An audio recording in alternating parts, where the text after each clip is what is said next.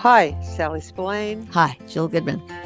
Daily Planets, Monday, the 22nd of June. The sun is in Cancer, ruled by the moon, and the planets are saying, And then what?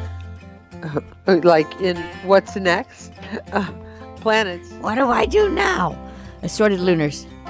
Okay. If you're in the midst of a shift or consolidation and are starting to question your sanity or the wisdom of having become involved, keep your eye on the prize or the long term goal. Moreover, be absolutely disciplined about reminding yourself that whatever status quo was upended to facilitate this shift or consolidation likely needed a good shove, or you wouldn't have set those wheels in motion to begin with.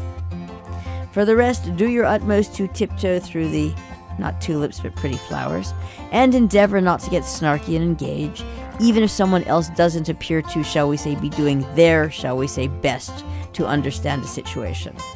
These planets are highly invested in raising the sensitivity level, whilst simultaneously lowering the threshold for taking or giving offense, or making it personal, or better yet, grudge worthy. Finally, keep in mind, in this climate, a little initiation will work wonders.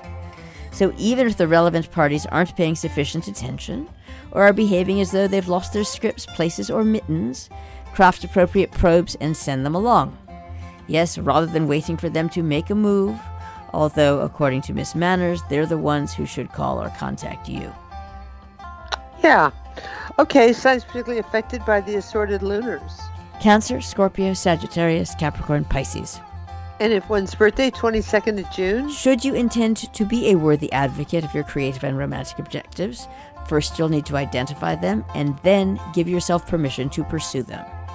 This shouldn't be too hard to accomplish, particularly if you shift the focus from what others are doing with their time and energy, how they're conducting themselves, and whether you deem it acceptable to your part in things.